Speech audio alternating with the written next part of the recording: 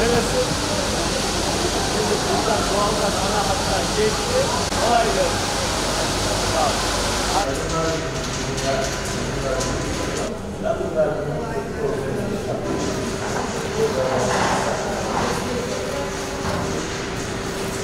Cenab-ı Allah emeklerinizi ziyan etmesin.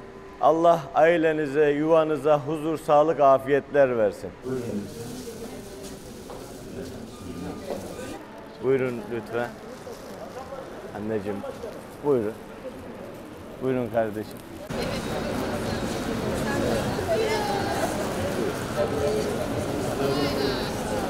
Cumhurbaşkanımızın liderliğinde tekrar AK kadrolarımızı güçlendirmek adına sizlerden de destek bekliyorum. Bir kadın arkadaşınız olarak, kardeşiniz olarak. Hepinizin tekrar gününü kutluyor.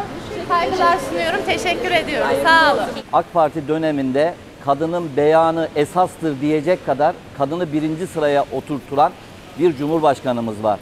Bugün herhangi bir dava, hukuksal bir mesele ortaya çıktığında kadının beyanı esastır diyen cumhurbaşkanımız sizlere verdiği değerin en üst mertebesini o maddeyle koymuştur.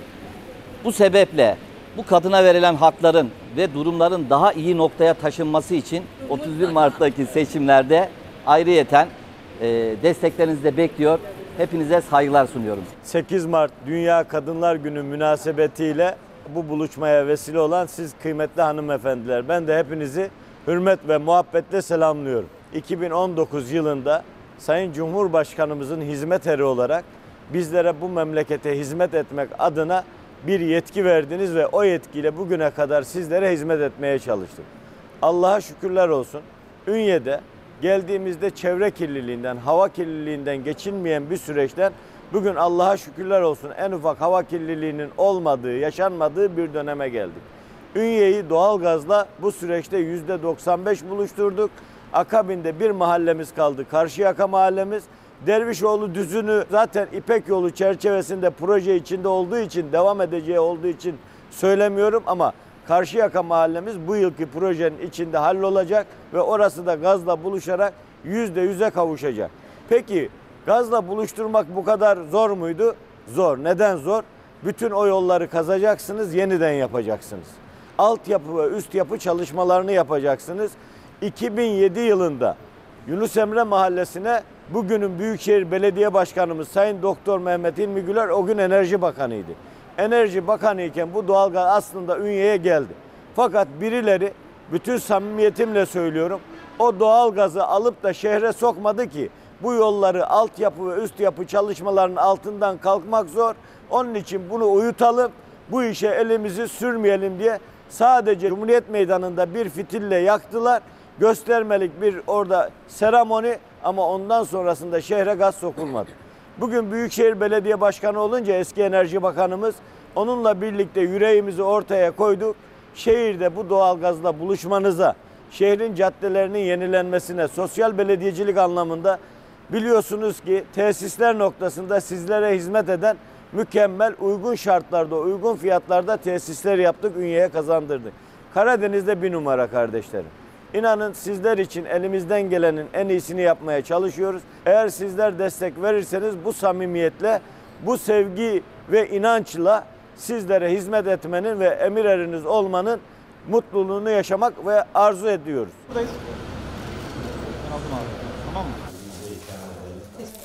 Efendim selamünaleyküm. Gününüz kutlu.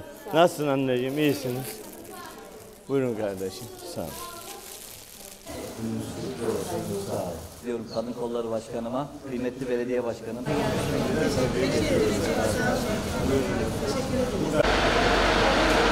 Teşekkür 8 Mart Kadınlar Gününüz kutlu olsun önce. Sağ olun. Efendim. Buyurun efendim. Sağ olasın. Nasılsınız? İyisiniz. Sizi sormalı. Allah razı olsun. Buyurun.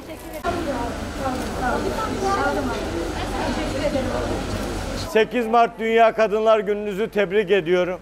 Cenab-ı Allah nice böyle senelere sağlık, afiyet içerisinde ailenizle, çoluk çocuğunuzla, eşlerinizle birlikte erişmeyi Mevlam nasip etsin diyorum.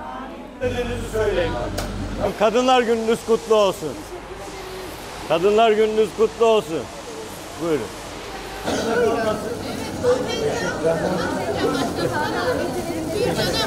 Ve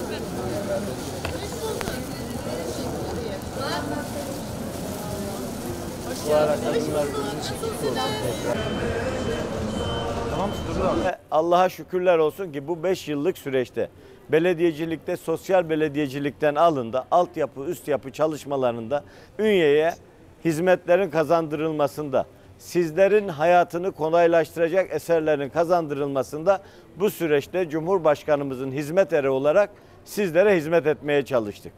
Allah'a şükürler olsun. Bu 5 yıllık süreçte Ünye'de bu hizmetleri üretirken, sizlere bu hizmetleri yaparken zerre kadar ne ahlaki anlamda ne de akçeli işler anlamında zerre kadar şaibeye bulaşmadan, belediyemizi herhangi bir usulsüzlüğe bulaştırmadan sizlere hizmet ettik. Cumhurbaşkanımızın belediyecilikteki hizmet eri olarak sizlere hizmet etmek isteyen bu kardeşinize seninle Allah'ın izniyle yola devam etmek istiyoruz. Cumhurbaşkanımıza buradan seni yüzünün akıyla göndereceğiz dediğiniz takdirde aynı samimiyetle, aynı inançta ve aynı dürüstlükle sizlere hizmet etmekten şeref duyarım. Sizlerin hizmetinde olmaktan da gurur duyarım. Destek var mı? Teşekkür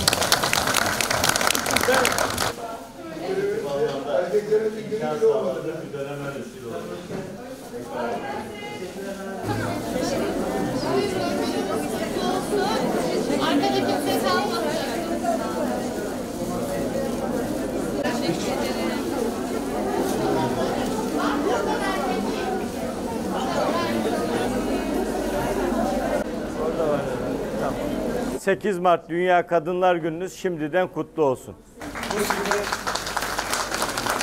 Yaşamsal anlamda hayattan daha pozitif anlamda ayrımcılık noktasında öne çıkarılarak sizlerin daha güçlü kılınması noktasında Sayın Cumhurbaşkanımız yani demokrasinin merkezi ve öznesi olarak sizleri göstermekte. Hakikaten bugün Cumhurbaşkanımızın ve bizlerin de peşinde yürüdüğü davasının hiç yere düşmeden devam etmesinin en birincil, güçlü temel ayağı sizlersiniz. Bunu her seferinde Sayın Cumhurbaşkanım zaten ifade ediyor.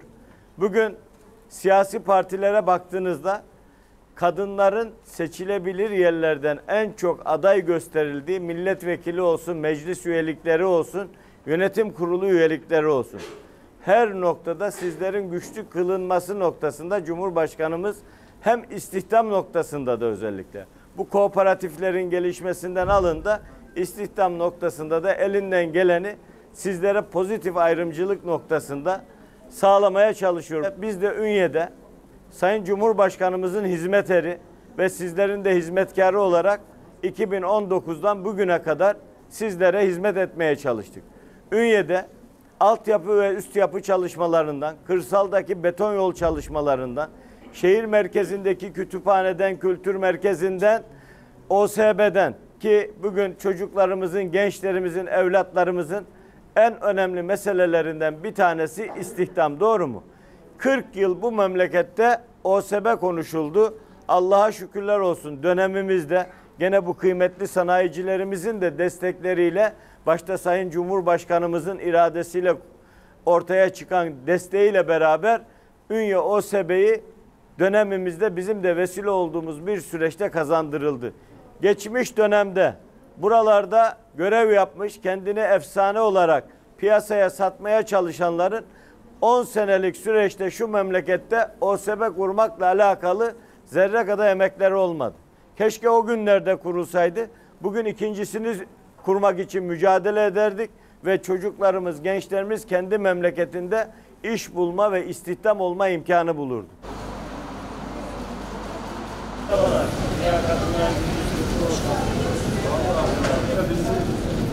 Dünya Kadınlar Günü. Buyurun. Sağ olun.